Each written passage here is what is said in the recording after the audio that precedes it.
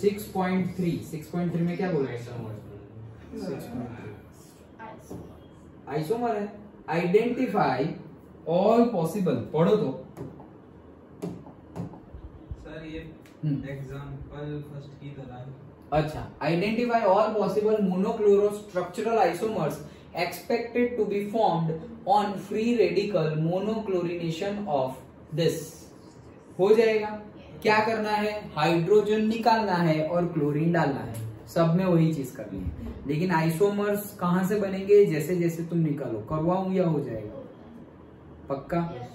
Sure okay वो first किया again yes जो तुम बोलेगे। जो फ़र्स्ट किया उसके जैसा ही है। अगर सबके आईयूपीएससी लिखते जाओ अगर किसी दो आयु किसी दो के आईयूपीएससी सेम आ रहे हैं तो फिर वो दो आइसोमर नहीं है वो एक ही है। क्योंकि कभी ऐसा होगा कि सपोज़ तुमने यहाँ पर एक नंबर दिया है वहाँ ब्रोमीन लगाया फिर उसके पहले लगाया उसके पहले लगाया फिर लास्ट वाला लगा रहे हो तो वो भी तो वन ही हुआ। यहाँ टू लगाया और फिर यहाँ पर भी टू आया तो वो दोनों नेम सेम ही हो जाएँगे।